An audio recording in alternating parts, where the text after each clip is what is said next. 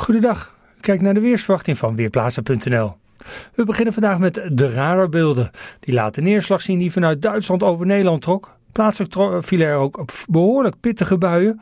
Onweer heb ik tot vanmiddag drie uur nog niet gezien, maar ook dat is uh, lokaal best wel mogelijk. Ten oosten van dit neerslaggebied bevindt zich de warme lucht. Die komt onze kant op, maar dat gaat langzaam. De warmte verwachten we in de loop van de avond en nacht dat het eh, via Duitsland Nederland binnen gaat trekken. Zien we dan op de thermometer nog niet terug. Gebeurt vooral hoger in de atmosfeer.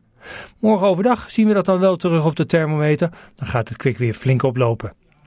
Maar eerst vanavond nog. De buien trekken langzaam naar het westen en zuiden weg. Op steeds meer plaatsen wordt het in de loop van de avond droog. In het oosten en noordoosten kan het kwik nog even wat oplopen. Dat is die binnenstromende warme lucht. Maar echt warm wordt het natuurlijk niet meer. Toch een hele aangename avond in de droge gebieden.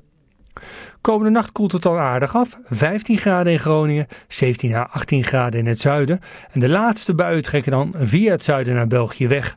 Er komen meer opklaringen en daardoor krijgen we morgenochtend te maken met een mix van wolken en zon. Maar die wolken lossen snel op en daarna hebben we een flinke periode met zon. Temperaturen uiteenlopend van zo'n 24 à 25 graden in het noordwesten. Daar waait een stevige noordoostenwind met windkracht 4, af en toe windkracht 5. En verder in het binnenland staat de windkracht 3 tot 4. Ook dus een duidelijk aanwezige wind, maar toch wat minder sterk dan aan zee. Ook in het binnenland een flinke zonnige periode, het blijft droog en de temperatuur loopt op naar zo'n 27 à 28 graden.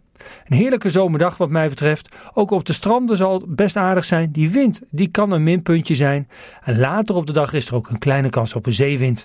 Voor de watersporters is de wind natuurlijk wel volop genieten. En na dat mooie weer morgen volgt er nog een prima dag. En trouwens nog een paar, want zowel woensdag, donderdag als vrijdag zijn er zonnige perioden. Soms zijn er wat meer stapelwolken, enkele wolk kan dan uitgroeien tot een bui. Maar eigenlijk geldt voor alle dagen deze week dat het droge weer overheerst. Temperaturen zijn natuurlijk schitterend, 25 tot 30 graden, maar je moet wel van deze warmte houden. Tropische warmte, zoals de afgelopen dagen, dat keert gelukkig niet terug, dus geen gepuf bij 35 graden. Op de langere termijn zien we dat er toch wel iets verandert.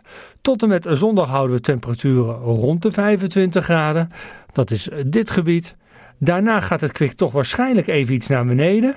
Om misschien halverwege volgende week weer wat omhoog te gaan. Nou, is allemaal nog ver weg. Volledige regendagen met veel bewolking lijken er voorlopig niet te komen. Dus het grijze weer van vandaag, dat zien we voorlopig niet terug. De zomer keert weer terug en vanaf morgen kunnen we er weer van genieten. Ik ben Michiel Severin van Weerplaza.nl